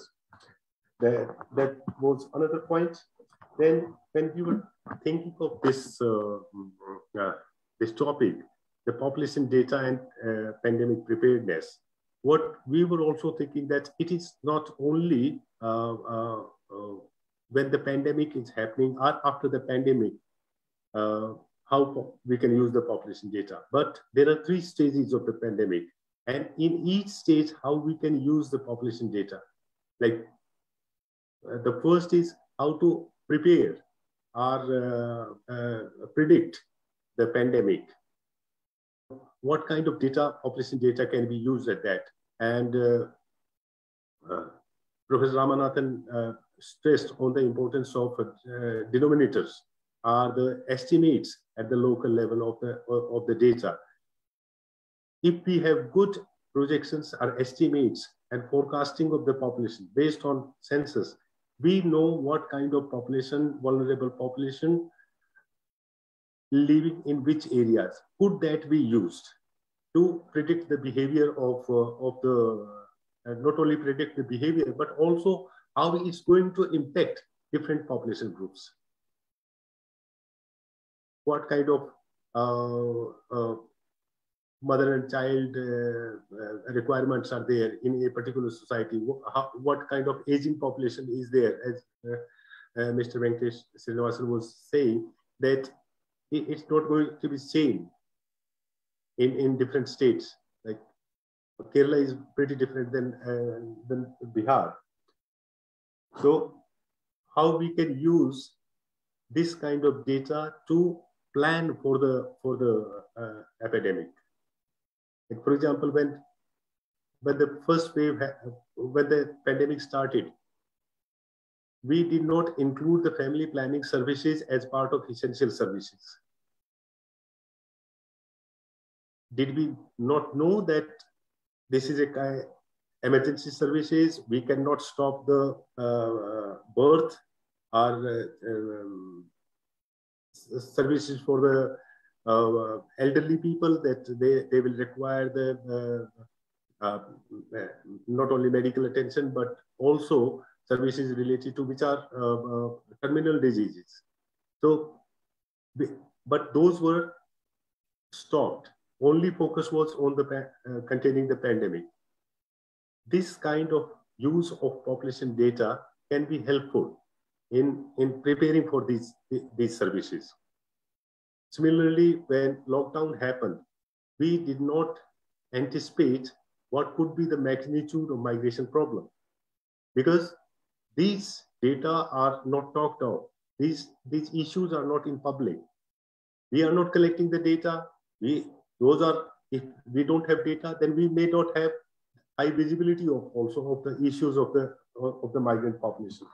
So to prepare how population data can be used as a, as a predictive force. Then may, planning the resource, uh, sorry, planning the response. Uh, what kind of res, uh, resources will be required for health, for economic needs, for other, other services. Similarly, when we are in the recovery mode, what kind of population uh, needs are there? What kind of population is vulnerable? how the different population groups have been impacted.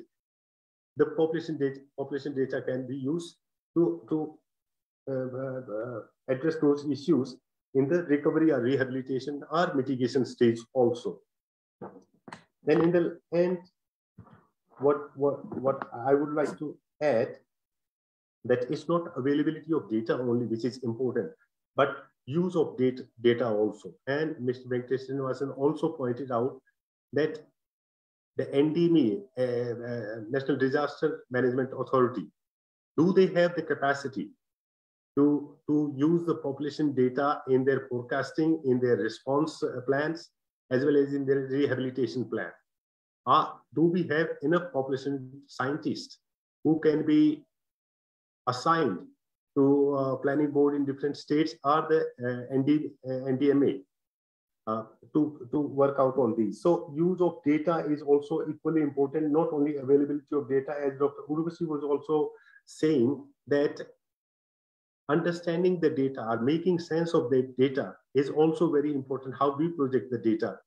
the number of cases high in one state that could easily skew the discourse in social media that cases are high there, but it could be because of the better test testing.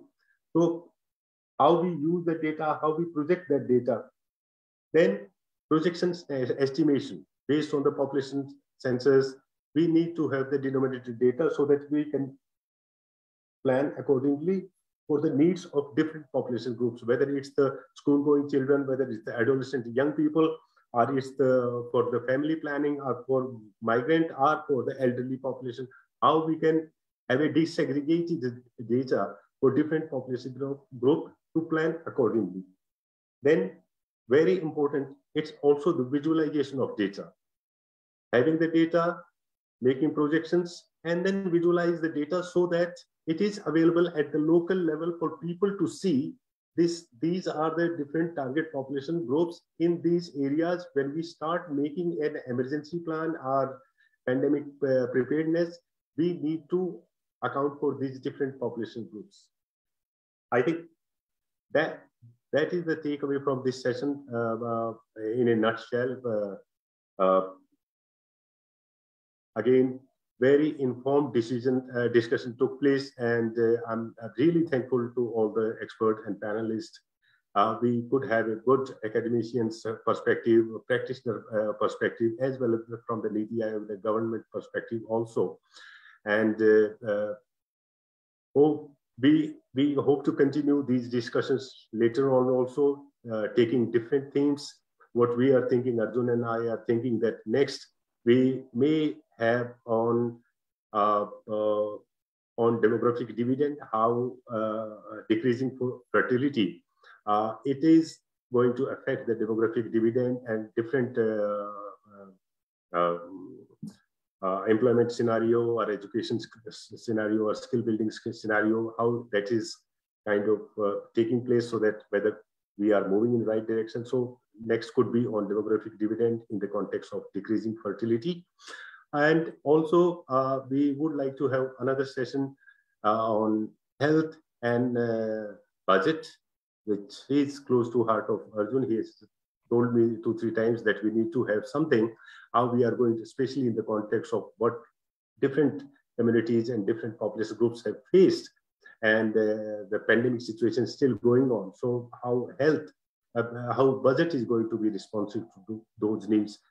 So we will be in touch with, and I'm really thankful because, and uh, uh, uh to all the panelists, this was the first session. So it, it is going to be a kind of very close to our heart that we started with the four experts.